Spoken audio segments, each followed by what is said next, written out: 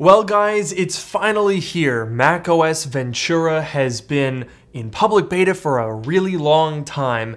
It's been over a year since Monterey came out, but finally it's launched to the public and today I want to tell you guys about some of my favorite little tips and tricks. But I'm not talking about like the big things like Stage Manager because you've already heard about Stage Manager and let's be honest, it kind of sucks. So today we're going to talk about some of my favorite small little useful tips and tricks that make living with the Mac just a little bit easier. So make sure to like, comment, and subscribe, and let's get started.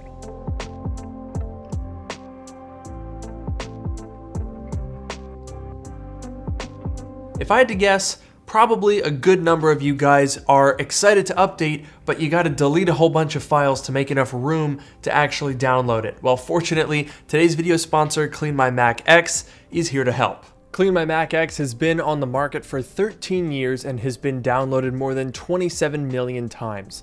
It's simply the best tool for cleaning and optimizing your Mac. Scanning for junk files, removing unused applications, and keeping your Mac fast, safe, and protected are their number one priority. Clean My Mac's most popular feature, Smart Scan, lets you examine your system to find those wasted junk files or unused applications, while Space Lens lets you look at your disk allocation in detail, while at the same time, malware removal monitors for threats on your system. Plus, the new menu app gives you helpful recommendations by monitoring battery, memory, temperature, and consumption processes. All of these factors work together to give you a comprehensive understanding of what's on your system, what's going on with your system, and how to keep it running optimally. If you want to learn more about Clean My Mac, check out the link in the description below to get started today. And now let's get back to the video. Okay, so let's jump right in with one of my favorite features, which honestly, it's kind of hard to believe it took them this long, but finally there's a clock app on the Mac. Can I get a round of applause? It's been on iOS for 15 years, but now we finally have it on the Mac as well. And honestly, things are pretty simple. You can set a stopwatch, a timer, and you can even create an alarm with a UI that is just different enough from iOS to not make it look like they literally just copy and pasted this entire application. That's all well and good, nothing particularly groundbreaking here, but the one thing I will say I do like about the new clock app is even if you close it, if you have a timer running, it's gonna stick around up at the top menu bar so that you'll always know how much time is left. So what's the verdict? Well, the clock app is extremely useful and obvious, but it's also extremely late. So I'm gonna give that feature a six out of 10. You lose one point for every three years late the feature is, so that's minus four points. Next up is system preferences, and this is another one that might seem obvious, but honestly, I've gotten used to it. It was controversial at first because basically what Apple did here was just copy and paste the exact layout for the settings on your iPhone and iPad and they just put it on the Mac.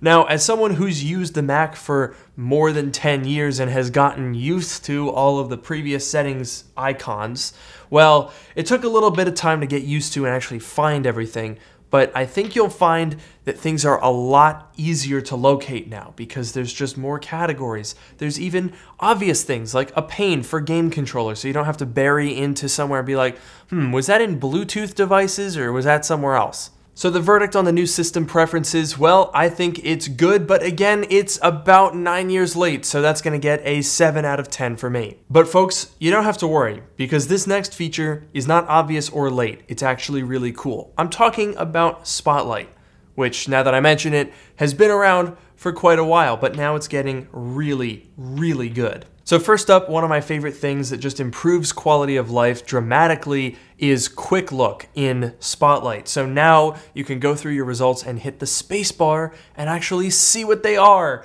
You can load entire web pages this way and scroll through them. And then if you're like, oh wait, this isn't what I wanted, just hit the spacebar and it goes away again. This, honestly, that's a great feature. Maybe it's a little late. I'm gonna give this an 8 out of 10. But the really exciting one is that you can now use Spotlight Search for photos.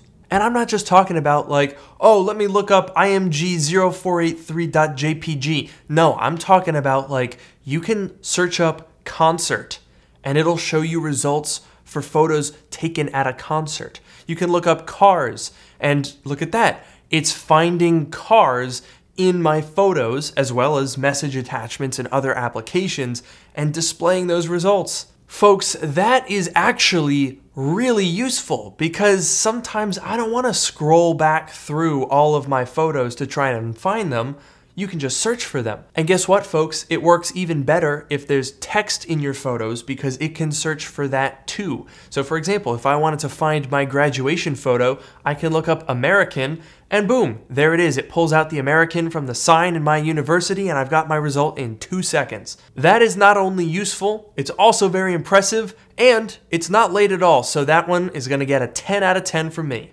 Okay, so this next tip is well, I'm not sure how useful it is, but if you go into accessibility and you go down to audio, you now have a couple of options that you didn't have before, namely background sounds.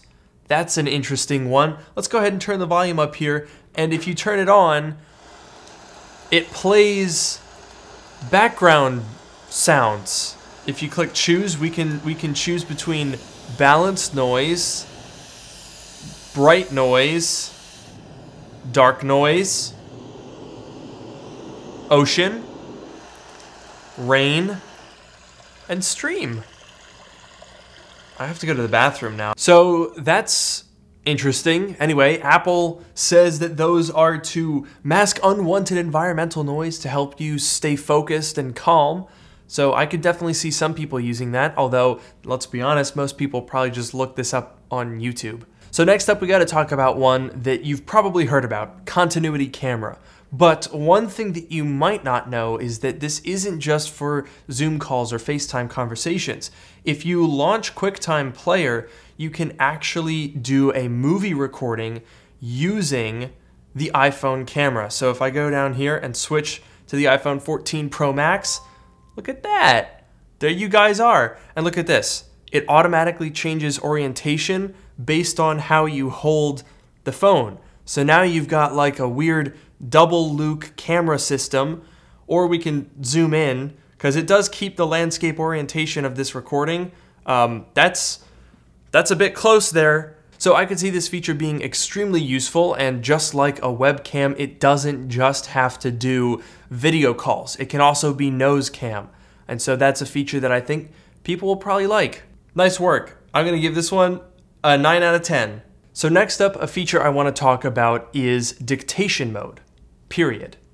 This is a feature that has been in macOS for a while, but now it's a little bit more useful, period. You can see we have a new mode here, which allows you to spell things out letter by letter. So for example, L-U-K-E space M-I-A-N-I.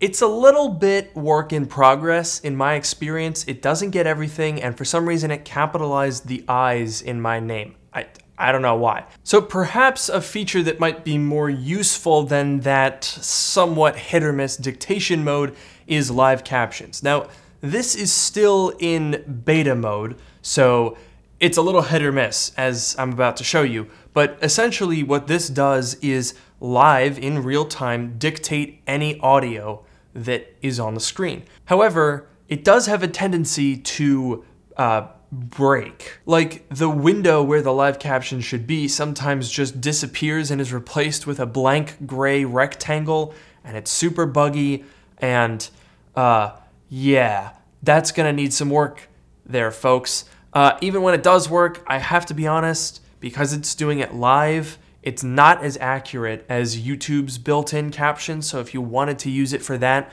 the built-in is just a better option. Uh, I hope that Apple can get this working really well for FaceTime because I think that would legitimately be useful. But as it is implemented right now, uh, mm, I'm gonna give this one a 5 out of 10 because you lose one point for every bug and it has like five bugs, so I think that's fair. So I'm curious to hear what you guys think about the dictation and live captions features. Let me know in the comments below. But one thing that I think is pretty universally useful is the new ability to customize Safari's suggested passwords. So typically in the past, it autofills a password, it generates one, and you either go with that or you make your own. But now you actually have a drop down menu, and by default, you can do it with no special characters, so it removes the hyphens, or you can edit it and it just lets you change whatever you want in that password.